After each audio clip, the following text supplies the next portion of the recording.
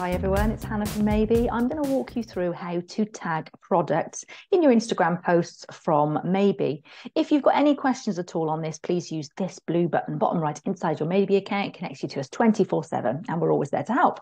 So obviously this is your Maybe dashboard. Um, to obviously create a post, you go to content calendar under content, and that will obviously bring up the content calendar where you'll see all of your posts that you've actually got scheduled. Um, and then I'm going to walk you through obviously how to actually tag products. So obviously, if you publish content with images of your products on Instagram, and you obviously want a really easy way to help customers make a purchase when they see a product that they like, um, this is a great way to do it because you can actually tag the product itself uh, in your Instagram post. So they can literally click through and obviously see more information about that product. So obviously, it's a great, great thing to do. So um, you'll need a shop set up on Instagram, um, and we've got other articles and videos walking you through how to do that if you need some assistance um, with that. Um, so this is obviously when you actually create a post when you've already done that part of the process. Um, so here's the content calendar. So I'm going to click um, to create a new post. And obviously this is an Instagram post that I'm actually going to create.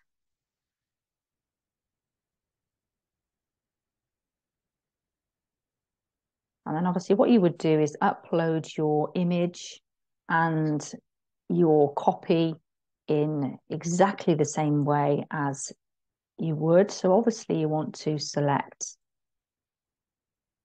Instagram.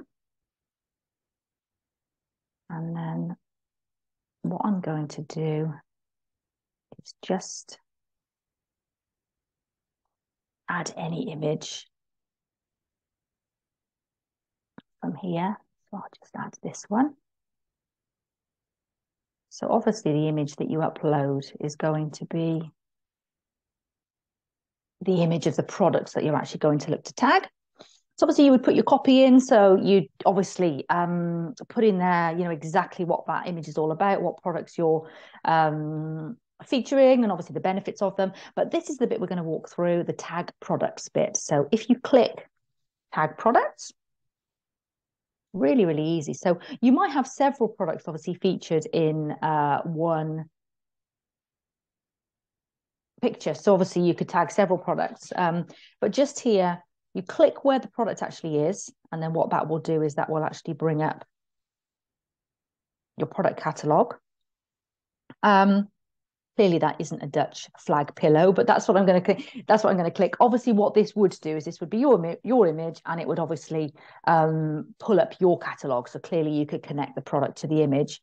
I would literally just click um, on that. And then obviously what you can see here, this is what this will do is if someone sees that image, thinks, I really like that, can hover over it, obviously click through and they can get more information about that product. So it's really really beneficial to do this.